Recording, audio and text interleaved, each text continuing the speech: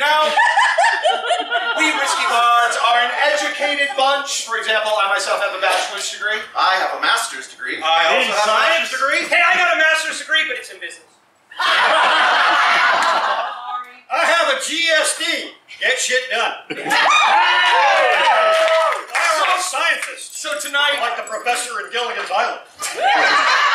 we can make a radio out of a coconut. But tonight, we would like to not only entertain, but educate on our favorite pastime in the SCA, drinking.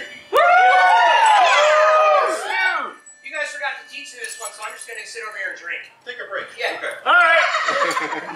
In the year of our Lord 1511, on March the 17th day, The Feast of St. Patrick. I will raise up a beer, and I'll raise up a cheer for Saccharomyces cerevisiae.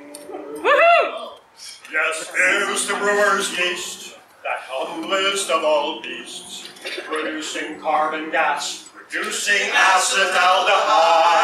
But my friends, that isn't all. It makes ethyl alcohol. Yes, that is what the yeast excretes, and that's what we imbibe. Oh, alcoholic fermentation, NADH oxidation. Give me a beer.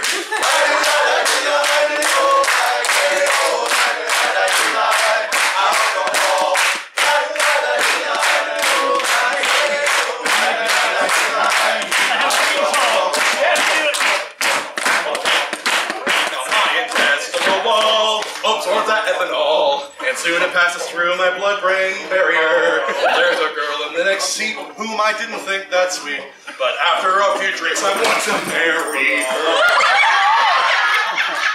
I guess it's not surprising my dopamine is rising and my glutamate receptors are all shot. Well, I'd surely be bemoaning all this extra serotonin, but my judgment is impaired and And my confidence is not.